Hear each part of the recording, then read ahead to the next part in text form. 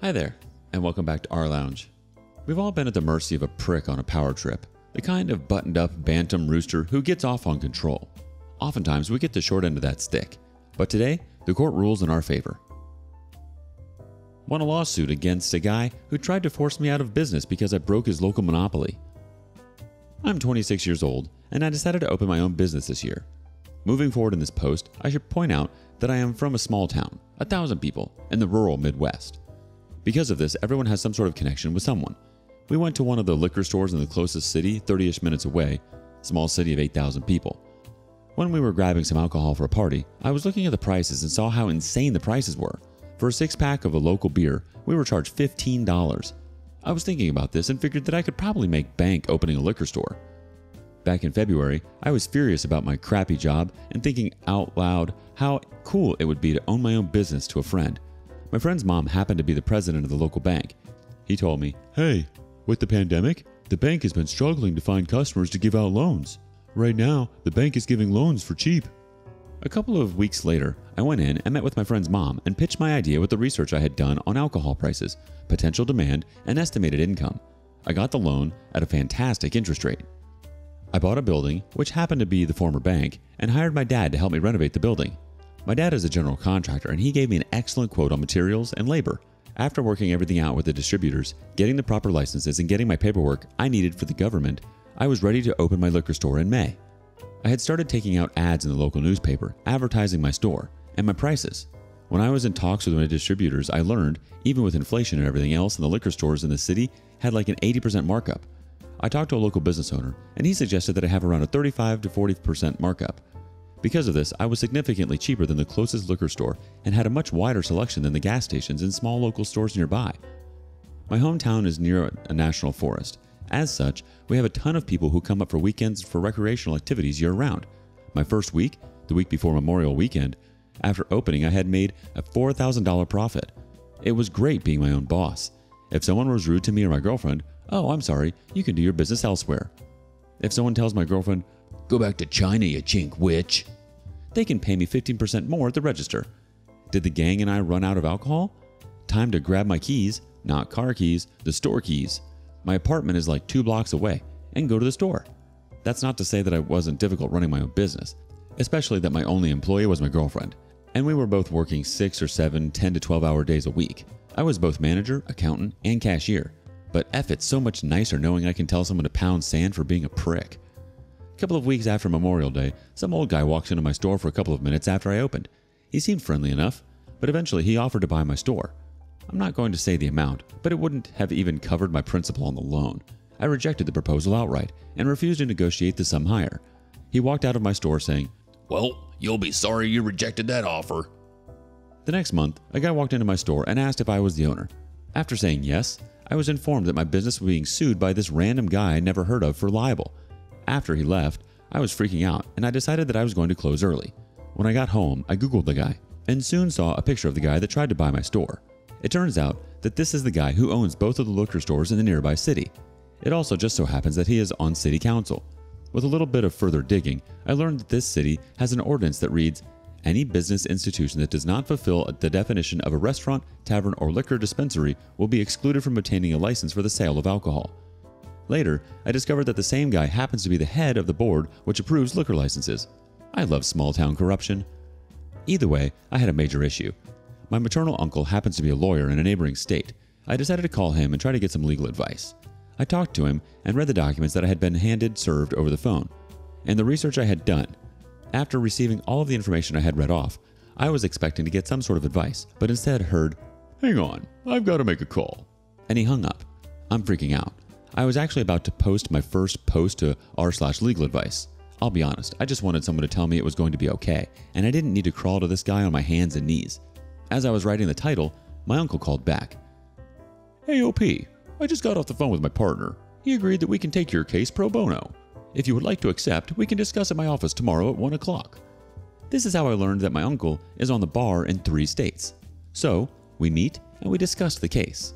It turns out that the guy filed the libel suit against my business based on the ads I took out in local newspapers. He claimed that my ads were targeted to damage his and his business's reputation.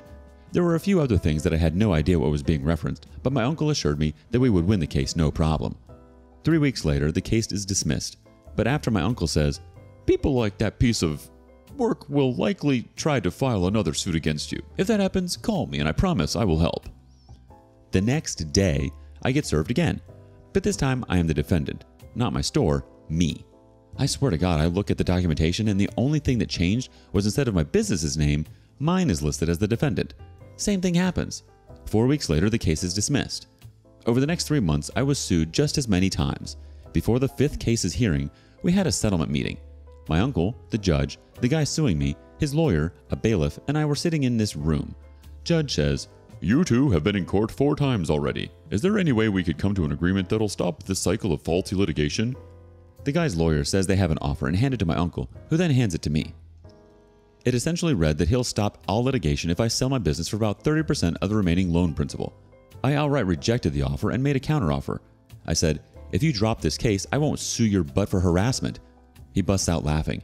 Sue me? With what money? The legal fees alone ought to have you drained. You should be happy. I chose to extend this offer, not sue your butt into bankruptcy and buy that crap hole from the bank when they foreclose on your dumb behind.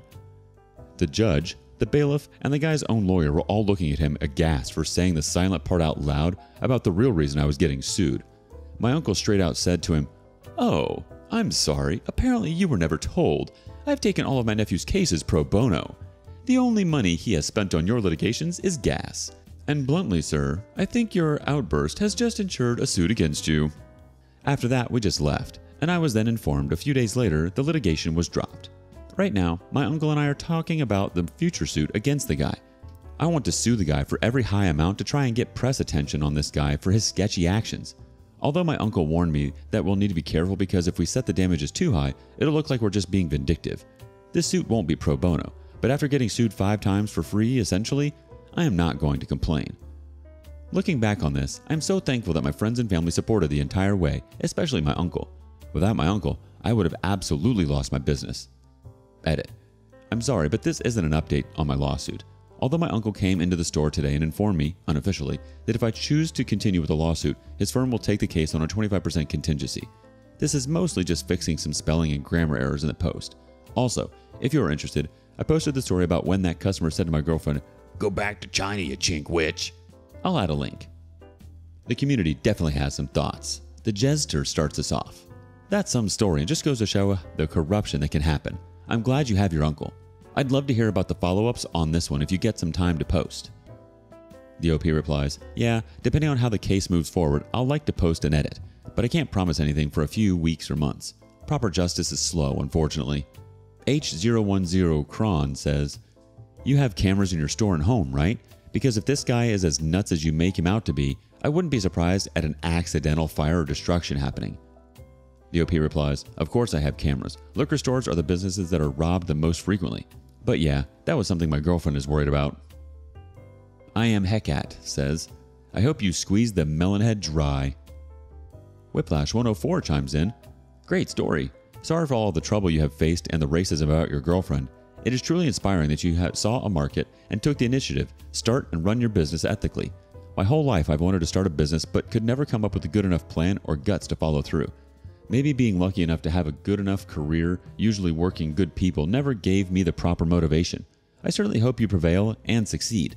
I hope there's a way to, legally, hurt that guy financially without being too dirty.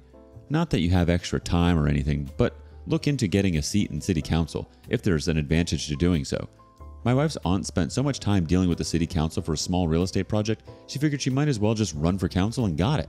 Of course, be careful not to show your hand and make the guy feel so threatened that he comes at you harder. It sounds like you're relatively young and have a future to build with your business, and I'm sure someday a family. Thanks for sharing. Your uncle and partner are stand up guys. This guy sounds like a dirtbag, and I'm not surprised that he's on the council. People like this usually are. They like to buy their way to the top and use scare tactics to control people, especially in small towns. Small towns are the only place they can get away with playing God I'm sorry that you tried to escape the crappiness of a job and just ended up bumping into this SOB. That's what we have to keep doing to people like this, so keep fighting back and pushing the boundaries. Thankfully, your uncle was able to provide you with pro bono advice. The majority of people aren't as fortunate. Keep fighting the good fight, OP. Stick it to the man. Have you had a similar issue before? Let us know in the comments below. And thank you for joining us today on rLounge. Before you go, be sure to like and subscribe and hit that notification bell. If you have something you want to say regarding today's content, share that with us in the comments below. See you soon.